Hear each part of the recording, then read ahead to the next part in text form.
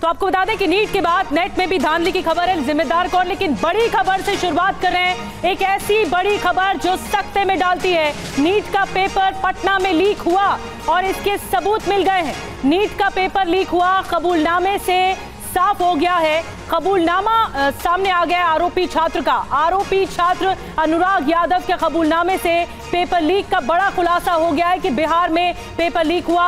सिकंदर यादवेंदु ने पटना में नीट का पेपर लीक किया है। और ये लेटर भी सामने आ चुका है, ये कबूलनामा जो सामने आ चुका है। और आपको दिखाते हैं, देखिए, ये कबूलनामा है आरोपी छात्र का, अनुराग यादव का। और उम्र इसकी 22 साल है। इसने कबूल किया है। देखिए, हम शुरू से आपको बताते हैं घटना की तिथि और स्थान, ये जो पूरा सामने आया है, जिसमें साक्षी का बयान, यानी जो जो इसमें विटनेस है उसका बयान सामने आया है। अब देखिए, हम आपको शुरू से बता रहे हैं कि लिखा क्या है इसमें, क्या कबूल किया। मेरा नाम आरोपी छात्र बोल रहा है। मेरा नाम अनुराग यादव, उम्र 22 साल, संजीव कुमार, जो कि पेरेंट्स है, और हसनपुर जिला समस्तीपुर। मैं अपना सफ़ाई का बयान बिना भय और दबाव, बिना लोभ लालच के शास्त्री नगर थाना पर दारोगा जी के समक्ष दे रहा हूँ। मैं नीट के परीक्षा की तैयारी कोटा में एलएन कोचिंग सेंटर में रहकर कर रहा था। रवि। बिल्कुल, देखिए, आगे इस कबूलनामे में उसने लिखा है, मेरे फूफा सिकंदर यादवेंदु नगर परिषद दानापुर जूनियर इंजीनियर के पद पर कार्यरत हैं। मेरे फूफा द्वारा बताया गया कि दिनांक पाँच पाँच चौबीस, यानी पाँच मई 2024 को नीट का परीक्षा है। कोटा से वापस आ जाओ, परीक्षा का सेटिंग हो चुका है। ये अपने आप में देखिए, ये संदेश गया था कि परीक्षा में सेटिंग सारी हो चुकी है। मैं कोटा से वापस आ गया तथा मेरा फूफा द्वारा दिनांक यहाँ पर एक तारीख दी गई है, चार पाँच चौबीस नहीं, चार मई 2024 को रात्रि में अमित आनंद और नीतीश कुमार के पास मुझे छोड़ा गया। ये दो नाम, अमित आनंद और नीतीश कुमार। अब ये दो नाम काफ़ी महत्वपूर्ण हो गए जिनके पास उन्हें छोड़ा गया निधि।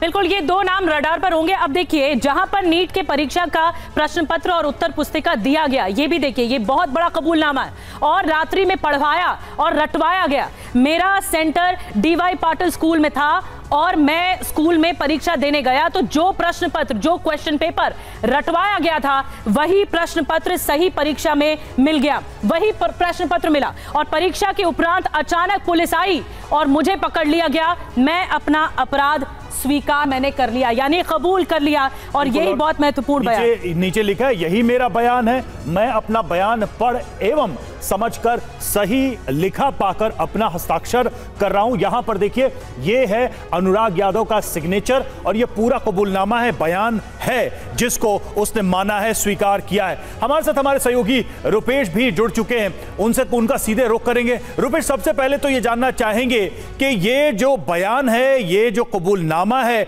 इसमें जो सारी बातें कही गई हैं, ये अपने आप में इस पूरे केस की कड़ियों को कैसे जोड़ रही हैं, पूरी जाँच की दिशा को कैसे सही तरीके से आगे बढ़ा रही है? एक तरीके से कहें रवि तो ये जो कबूलनामा है, ये पूरे जाँच को समाप्त करने वाली है। क्योंकि इसमें अनुराग यादव ये स्वीकार कर रहा है और इसके पहले आयुष राज भी ये स्वीकार कर चुका है कि जो प्रश्न पत्र एक दिन पहले मुझे रटवाया गया था परीक्षा केंद्र के अंदर जाने के बाद हु बहु शत प्रतिशत वही प्रश्न पत्र पाए गए हम्म। यानी कि जो क्वेश्चन पेपर लीक हुआ है ये बात अभी संशय और एनटीए ये बात मानने को तैयार नहीं है कि क्वेश्चन पेपर बिहार में लीक हुआ है, ये तमाम बातों का एक तरह से क्लोजर रिपोर्ट इसको मान सकते हैं। क्योंकि दो दो छात्र ये स्वीकार कर चुके हैं कि बाहर जो प्रश्न पत्र उसके आंसर उन्हें रटवाए गए अंदर परीक्षा केंद्र में अंदर जाने के बाद उन्हें उन्होंने ये पाया कि वो प्रश्न हूबहू बहु शत प्रतिशत शब्द का इस्तेमाल इसके पहले आयुष राज नाम के छात्र ने कहा कि शत प्रतिशत वही प्रश्न पाए गए।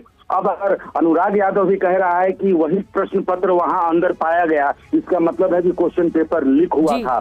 और अनुराग यादव के बारे में आप रवि जाने अनुराग यादव है कौन? अनुराग यादव वही छात्र है जिसके लिए बिहार सरकार के एक मंत्री ने सिफारिशी पत्र लिखा था और उसी पत्र के आधार पर पटना का एक सरकारी गेस्ट हाउस उसे ठहरने के लिए दिया गया। और ये भी बात पता चली है कि उसी गेस्ट हाउस में भी प्रश्न पत्र रटवाए गए जो कबूल कर रहा है अनुराग यादव की रूपेश इस अनुराग यादव ने अपने फूफा सिकंदर यादवेंदु का नाम तो लिया लेकिन दो और नाम हैं जो इस कबूलनामे में सामने आए। वो है अमित आनंद और नीतीश कुमार। ये दोनों कौन है?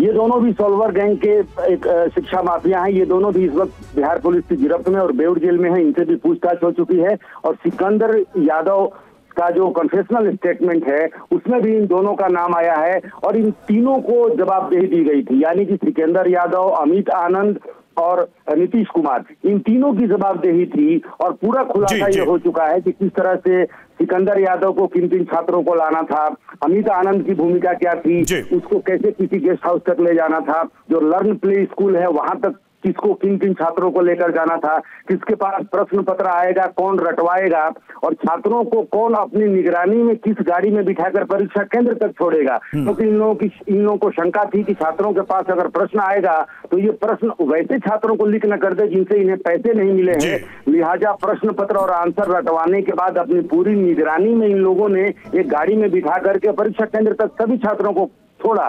एक जगह पे बिठा करके सबको प्रश्न पत्र और आंसर रटवाए तो गए थे लेकिन क्योंकि परीक्षा केंद्र सबके अलग अलग थे लिहाजा बहुत सारी गाड़ियाँ की गई थी और ये सब सॉल्वर गैंग ने किया था और सभी छात्रों को अपनी पूरी योजनाबद्ध तरीके से ये सब कुछ किया गया। रुपेश हम लौटेंगे आप बने रहे हमारे साथ। देखिए ये बहुत बड़ा कबूलनामा है बहुत बड़ा सबूत है।